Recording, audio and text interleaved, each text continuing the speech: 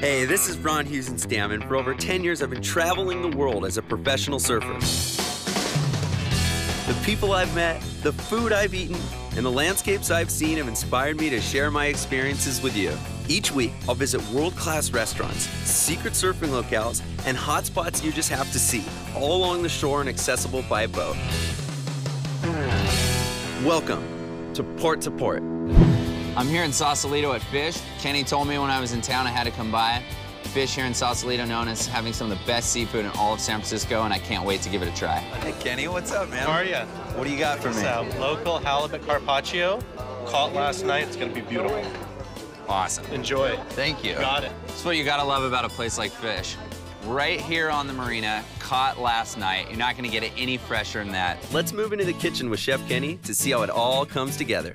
So this is the the hotline, and the hotline starts with with this grill, oak and almond. That's what we loaded with, and the flavors of that oak and almond come out in the food. It seems so easy. Why is it so unique? If you take good ingredients, it's hard to mess them up. Well, there you have it. I mean, this is really fish in a nutshell. The secret, really fresh local ingredients, everything organic. And I saw them seasoning love back here, which could be the difference. So the Spaulding Center has been called by the San Francisco Chronicle a cathedral for wooden boats, and the centerpiece of all this beauty is the Freda here.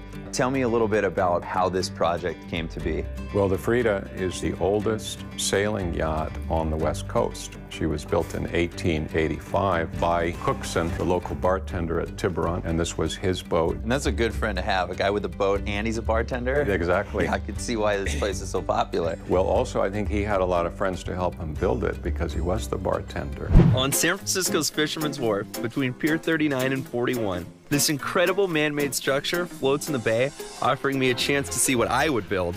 No, if I could afford it. Welcome, folks. Thank you. Inspired by Jules Verne's 20,000 Leagues Under the Sea, Forbes Island was built in 1975 by Forbes Thor Kiddoo as his private residence. Yes, his private residence. Would you like to see the lighthouse? Yeah, I want to see the lighthouse. It's four stories high and has 55 steps. And on top of the lighthouse is a real Fresnel lens on loan to me from the United States Coast Guard, built in 1840. First time it was lit, they used whale oil. What's it got now? I used electric bulb. Okay.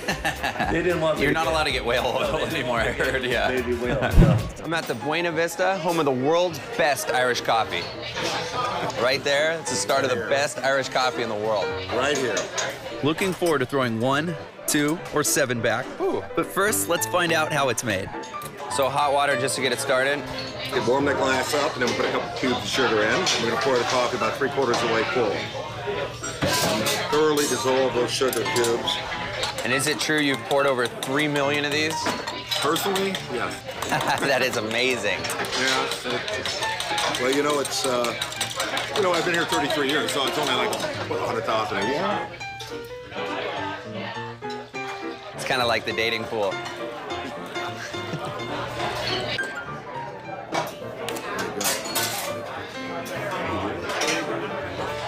Joy? So this is Irish coffee number three million and one. About to be Irish coffee number three million and done. Cheers. I hope you had as much fun as I did on our tour of San Francisco Bay. As we weigh anchor, I look forward to another awesome meal, another glass of wine, and most importantly, to seeing you next time on Port to Port. Until then, smooth sailing.